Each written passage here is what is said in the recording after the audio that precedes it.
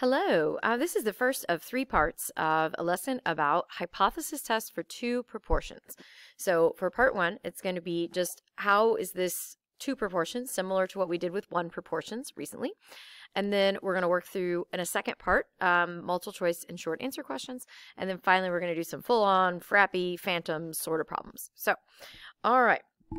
So, so far in on previous episodes of AP Statistics, we talked about hypothesis tests.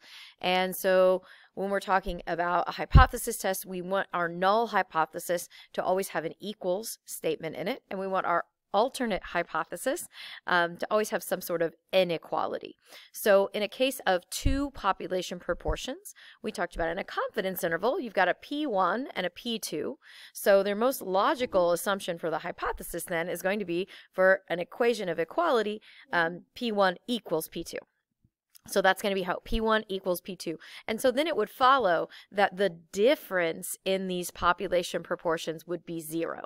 So essentially the, the null hypothesis in a two proportions problem is basically like saying that we think these two proportions are the same. We think these two populations have the same proportion of success. Okay, so we've got this P1 equals P2, or you can write it as a difference like we did with the high um, confidence intervals last time. Um, and that difference would equal zero. Okay. Um, as far as the alternate hypothesis, you could say that the first proportion uh, is greater than the second, that the first proportion is less than the second, or or that they're not equal to.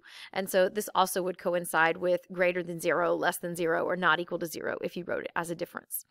Okay. So on the formula sheet, um, you um, we have this formula sheet here that we have for AP statistics. We've got the statistic, the parameters, the standard errors. Remember, in a hypothesis test, the thing that we want to be able to pull out of this is the standardized test statistic. And for proportions, that's going to be a z because we're going to use the standard normal distribution to help us find probabilities. So we're going to find a z score for this. And unlike a confidence interval, we're not going to be able to just look this up off the table. We're going to actually have to compute this. Um, this essentially is like the z-score for the statistic that we got, or the z-score for that sample distance. So on your formula sheet on the front side, it says statistic minus parameter divided by standard error of the statistic. So remember, the statistic comes from that first column. I've got it highlighted in yellow there. So that would be p hat 1 minus p hat 2. So I take my sample from the first population, I calculate that p hat value. I take my sample from the second population, I calculate that p hat value, I subtract those two p hat values. That gives me the statistic, the difference in population proportions for this ex example. The parameter is the mean there, which would be P1 minus P2, okay? And then our standard error, um, we have a little bit of a, a tweak here. Okay, um, since we are assuming that P1 is equal to P2, instead of just using P hat 1 and P hat 2 in our sample, um, in our standard error calculation, we're going to use this thing called P hat combined instead, which is sort of a weighted average of the two proportions. Sometimes this is called a pooled proportion.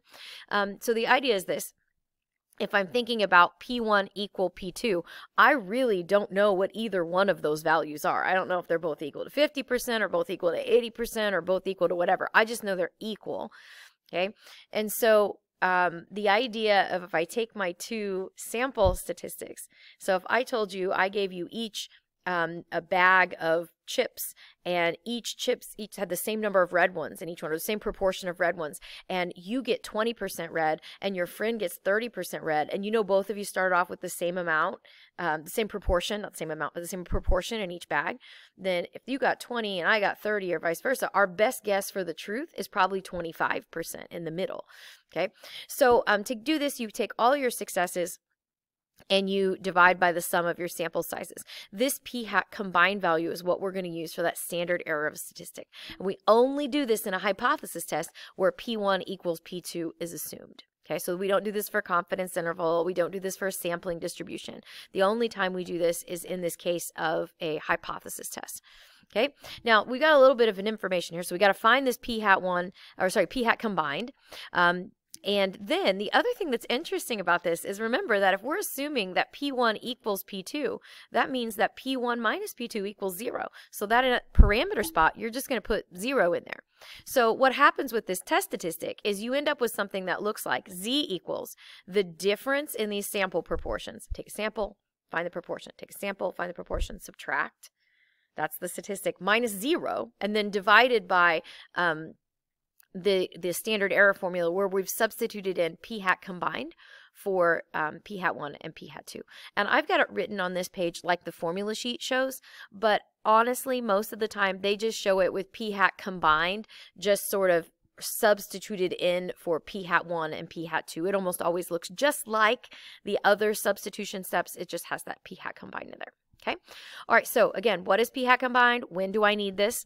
Um, so we're going to use this p hat combined for a two sample z-test for a population proportion because we're assuming that p1 equals p2.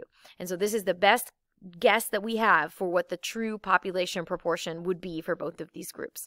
Okay. So we will use this to check the normality condition okay which means if i want to know if the um, sampling distribution could be assumed to be approximately normal i have to check that n times p greater than or equal to 10 and n times 1 minus p greater than or equal to 10 so i'm going to use this p hat combined number in those checks Okay, so I still use N1 and N2, but I'm going to check this using that p hat combined um, to see if they're bigger than 10 in this case. That's going to tell me that it's plausible that the sampling distribution would be approximately normal. Okay, um, the other place we check that is in that standard error formula. Okay, um, so again, which P am I supposed to use then? I've got all these different checks. Which P do I use for this normality check? For this N times P greater than 10 and N times 1 minus P greater than 10. We've checked this all the time, which is sampling distributions. We're talking about confidence intervals, hypothesis tests. Seems like there's a lot of way to check this. So if you know P, P is always the best choice. Okay, so if you are doing a hypothesis test and you have that statement PO, okay, P equals 0.5, P equals 0.7, P equals 0.8, you know what P is. You have this assumption for what that is, that's what you're going to use. Now, in a hypothesis test, um, you you might have that. You might have that equality but in a confidence interval you don't. Like that's the whole purpose of a confidence interval is to try to find that estimator. So in a confidence interval you will use your p hat values because that's as good as you can get Okay, in a hypothesis test, um, you will use the P from the null hypothesis if you've got it, because that's a better guess than what P hat is. But if you have one where P1 equals P2, you're going to use that P hat combined instead. Okay, so the only time we do that p hat combined is if we have this assumption of equality, which we don't have in a confidence interval. We only have that in a hypothesis test. And basically, these both are cards in your little um, flashcards that I gave you the other day in class. Okay. So once you've got that test statistic, remember the idea is that you are going to try to find that z-score. Boop, find that test statistic, and then you're going to try to find the p-value. The p-value is the probability of getting a test statistic like ours or more extreme if the null hypothesis is true. So basing that idea that the null hypothesis is true, that that assumption is true, how likely is it to get a test statistic like ours or more extreme in the direction of the test? So if you've got a greater than, you're doing that right tail test, you're talking about Z or more. You're talking about that tail area less than that's going to be a left tail test okay so from negative infinity up to that z-score that's that p-value remember you have a uh, not equal to oh i have a typo not equal to Woo not equal to. Oh, that was terrible. I shouldn't have even written on it. Not equal to. There we go. Um, on a not equal to there, um, you, that's a two-sided test. So whatever your test statistic is, you want to go from that to the tail. But then because it's a two-sided test, you're going to take both tails. So you're going to take that tail area and you're just going to double it.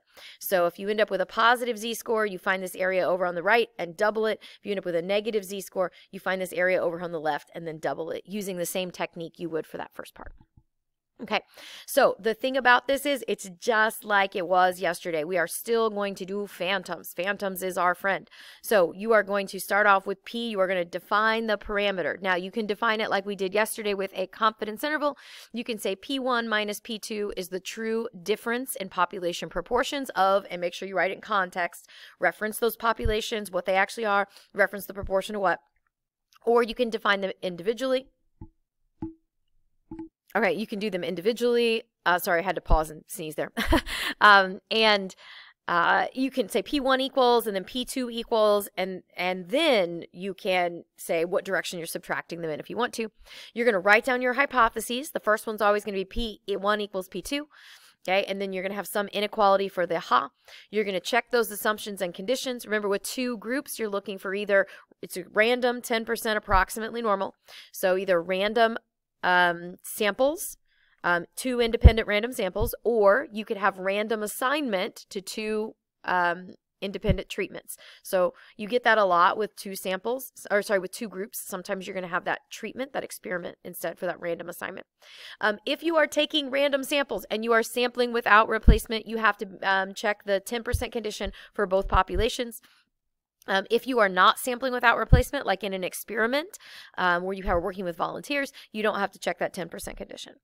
Um, and then you're going to check those approximately uh, normal sampling distribution check with the n times p and the n times 1 minus p. The catch here is that you are going to check that with p hat combined because we're assuming that p1 equals p2. Okay, so um, remember with two groups, you're kind of like Santa Claus. You're going to make a list. You're going to check it twice. Okay, you're checking for both populations. The name of this is a two sample Z test for a difference in population proportions. So you're going to write down that name.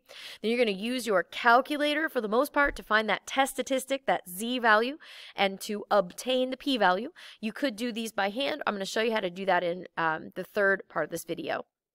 Okay, um, you're going to make a decision. Remember, if the p-value is low, less than alpha, you're going to reject that null hypothesis. Okay, you're going to say, I reject the null hypothesis. I am convinced that Ha is true.